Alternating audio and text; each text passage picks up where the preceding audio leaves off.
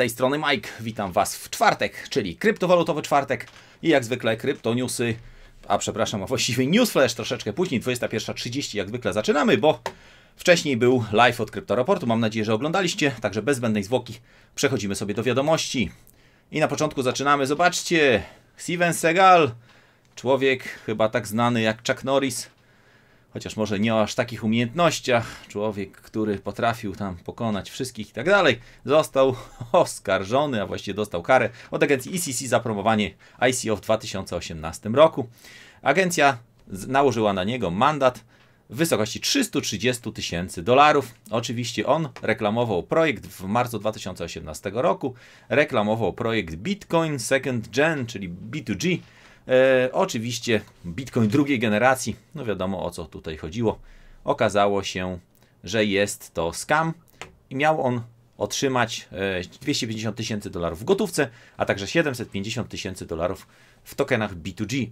no, e, I zobaczcie, że ujawniono, że on otrzymał jedynie 157 tysięcy dolarów. No cóż, tak jest to w Stanach, także jak jest się w Stanach. Ja pamiętam już dosyć dawno temu w Kryptoniusach w kryptonewsach było coś takiego, że właśnie ci e, agencja SEC wszystkie te osoby w jakiś tam sposób oskarżała o to, że, e, że reklamują, reklamują ICO i dostaną za to wszystkie gwiazdy ostrzeżenie. Przechodzimy sobie oczywiście do kolejnego newsa i tutaj mamy informację o tym, że sądy będą zajmować, e, będą zajmować bitcoiny w postaci przy użyciu górników, przy, przy pomocy górników, tak twierdzi oczywiście samozwańczy Satoshi Nakamoto, Craig Wright. E, stwierdził on, że, że, że Bitcoin będzie zajęty i może zostać zajęty e, przy użyciu górników poprzez, e, tak aby spełnić, można powiedzieć, aby spełnić tutaj, można powiedzieć, wyrok sądowy, dotrzymać, dotrzymać wyroku sądowego. No zastanawiam się, zobaczcie, że zastanawiam się, jak Zobaczcie, ta opublikował Craig Wright, nawet Phoenix rzucał się na Discordzie bez kluczy. E, bitcoiny zostaną skonfiskowane, kod jest prawem, e, a sądy mogą narzucić łatanie kodu. Bitcoin nie jest zaszyfrowany, to jest ekonomia. E, I teraz zastanawiam się, zastanawiam się o tym, w jaki sposób, w jaki sposób, można powiedzieć, oni chcą wyciągnąć w jaki sposób oni chcą wyciągnąć te bitcoiny z powrotem, czyli co? Przebudować cały blockchain, żeby można było cofnąć transakcje? No bo zastanawiam się, no w jaki sposób, jakie on ma podstawy ku temu twierdzić, no bo ja rozumiem, jeżeli przykładowo, nie wiem, dostajesz nakaz zapłaty czegoś tam i czegoś tam. I nie masz na to kasy, no to teoretycznie mogą zająć Twoje koparki, które będą Ci kopać, nie? Albo masz jakiś tam biznes, no wiadomo, przykładowo, nie wiem, jak Ci Urząd Skarbowy zajdzie, zajmie konto, e, no to mogą Ci zabrać część pieniędzy z tego konta, no ale w jaki sposób on chce, czy może ktoś wyjaśnić, co on w ogóle wymyślił, w jaki sposób e, przy użyciu górników oni chcą zająć te kryptowaluty, bo ja rozumiem, że jeżeli powiedzmy, no teoretycznie można próbować cofnąć blockchain, no ale jeżeli twierdzą niektórzy, że większość E, że większość e, górników mm, jest w Chinach, no to Chińczycy pokażą amerykańskiemu sądowi coś takiego. I tyle w tym temacie. Dobra, przechodzimy dalej i zobaczcie, że proces przeciwko, przeciwko XRP, w którym e, chcą udowodnić, że XRP jest, nie, jest papierem wartościowym, który nie został zarejestrowany w agencji SEC, przesunął się do przodu. I zobaczcie, że tutaj dokumenty, które zostały w sądzie złożone 26 lutego, i zobaczcie, że e, sędzia Phyllis Hamilton e, z Sądu Północnego Dystryktu Kalifornii e, częściowo zezwolił, a właściwie tylko częściowo odrzucił, odrzucił wniosek Rippla, który chciał w ogóle całkowicie odrzucić, odrzucić ten, można powiedzieć, te zarzuty. Można powiedzieć dodatkowo jeszcze, że ten proces sądowy został zainicjowany w sierpniu 2019 roku przez inwestora Bradley'a Sostaka, który stwierdził oczywiście, że on tam stracił i tak dalej, firma oszukała, e, oszukała inwestorów, bo to jest security i tak dalej, i tak dalej, i tak dalej. No i ty, pytanie, czy przyszłość XRP jest niepewna? Ja w to wątpię, że jest niepewna przyszłość, powiedziałbym nawet, że jest bardzo pewna. E, a ten pan po prostu jest dupa, nie inwestor i tyle w tym temacie. No. Przechodzimy dalej i zobaczcie, że zmiany na Binance, Binance dołącza do e, sieci blockchainowej, która będzie wykonywała różne cross, cross sprawdzenia KYC i dzieliła da, danymi KYC, jeśli chodzi o różne branże. To jest ciekawa, e, to jest ciekawa sprawa. Oni podpisali partnerstwo z protokołem Shift Network, a właściwie z całym z publicznym blockchainem Shift Network. I oczywiście oni twierdzą, że przygotowują się do tego, aby być zgodnymi z regulacjami FATF, czyli szczególnie z tą Travel Rule. Travel Rule polega na tym, że, że ci WASPy muszą wysyłać między sobą, przekazywać dane, jeśli chodzi o klientów. No, powiem szczerze, ciekawa, e, ciekawa sprawa. Tylko wiecie o tym doskonale, że Binance bardzo często blokuje środki. No więc tutaj ja osobiście dużych środków na Binance nie trzymam. Przechodzimy sobie dalej i zobaczcie, jeszcze przed halvingiem Bitcoin ogłosił zbliżającego się Antmanera S19 i co ciekawe, podano statystyki, słuchajcie, jest to koparka, która przekroczy 100 terahaszy. E, zobaczcie, że tutaj zwykły Antminer S19 będzie miał 95 terahaszy na sekundę, e, Pro będzie oferował 90 e, terahaszy na sekundę, ale co ciekawe, strona Bitmaina twierdzi, że Pro może nawet 110 terahaszy na sekundę. Oczywiście mają być bardziej wydajne, Zastąpią oni oczywiście S17, które miały odpowiednio 67-55, chociaż kręciły się na 82, jak ktoś wiedział, jak e, co tu ciekawe, będą ważyły 3,5, e, ewentualnie 4,5, a nie, przepraszam, zobaczcie, że e, cena będzie, znaczy cena, wielkość będzie, zobaczcie, 15,5 kg chyba zwykły i 16,5 kg Pro. No, to ciekawe. To jest ciekawa sprawa. Zobaczymy, co z tego wszystkiego. A nie, przepraszam. E, a nie, przepraszam, głupoty gadam. E, a mianowicie tak, będą ważyć, S19 będzie ważyć 3,5, ewentualnie 4,5 kg więcej niż poprzednicy, którzy ważyli 15,5, czyli prawie 20 kg, a nawet ponad 20 kg koparka. No to takie lekkie handle do rozgrzewki, można powiedzieć. No, ale też inne firmy tutaj nie zasypują gruszek w popiele i zobaczymy, co z tego wszystkiego wyniknie. Oczywiście MicroBT MicroBT, tutaj Wattsminera M20, który ma 60 terahaszy, cały czas yy, sprzedano 600 tysięcy, cały czas walka i zobaczymy co jeszcze na to Canon.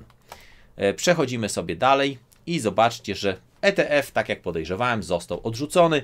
ETF, który był złożony przez Wildshire Phoenix, bo to jest jakaś firma Bitcoin Phoenixa, niestety nie udało się Bitcoin Phoenix, yy, znaczy Wildshire Phoenix E, został ETF odrzucony, no i właściwie nic się nie zmieniło. Przechodzimy sobie dalej, a mianowicie system, a wyjście pracownik systemu, e, systemu sądowego, z jakiegoś tam systemu prawnego Ukrainy został złapany kopiąc kryptowaluty w swojej pracy. To jest oczywiście. I zobaczcie, człowiek, członek oczywiście działu IT jeśli chodzi o jakąś tam administrację sądową, yy, rządową administrację sądową na Ukrainie, został oskarżony o nielegalne kopanie kryptowalut w swojej pracy. Yy, doniosło o tym biuro, yy, biuro prokuratora generalnego Kijowa. No i co można jeszcze powiedzieć? No, panu grożą pewnie jakieś tam konsekwencje. A kopał on kryptowaluty od stycznia do maja 2018 roku. Zobaczcie, dopiero teraz wychodzi. No cóż, Zobaczymy, jaka kara mu grozi, na ile go skażą. Przechodzimy dalej i zobaczcie partnerstwo pomiędzy Ethereum Classic a Chainlinkiem, aby stworzyć integrację zdecentralizowanych wyroczni, orakli, jak to nazywają. Ethereum Classic oczywiście pochodzi z San Francisco i jest to oryginalny Ethereum, które nie wykonało cofnięcia bloków. Oczywiście Vitalik nie, nie zgodził się z tym i przeszedł w oryginalnym Ethereum i teraz mają partnerstwo z Chainlinkiem i będą, można powiedzieć, e, Oracle do Ethereum Classic, czyli będzie można używać Oracle Chainlinka na Ethereum Classic. Zobaczymy, co z tego wszystkiego wyniknie. Powiem Wam szczerze, że Ethereum Classic to bardzo ciekawy projekt. Przechodzimy sobie dalej i zobaczcie, pomimo straty 7000 bitcoinów, giełda Fcoin twierdzi, że wkrótce przywróci operację, a jeszcze niedawno było, że zrobili exit scam. To jest dziwna sytuacja, powiem szczerze. szczerze CEO Zhang Yang ogłosił, yy, firma oczywiście, że straciła od 7 do 13 tysięcy bitcoinów ze względu na yy, połączenia błędów technicznych i różnych innych rzeczy. I teraz okazuje się, że jednak będzie działać. No, zobaczymy, czyżby ktoś ich może po, yy, można powiedzieć, yy, po cichu wykupił giełdę. Przechodzimy sobie dalej. To ja nie wiem, to nie zamknąłem głównej strony. I zobaczcie, że Ripple po, przyspiesza adopcję XRP i y, podpisuje partnerstwo z firmą płatniczą z, z, można powiedzieć, z fintechem płatniczym, który jest dostępny w 200 krajach.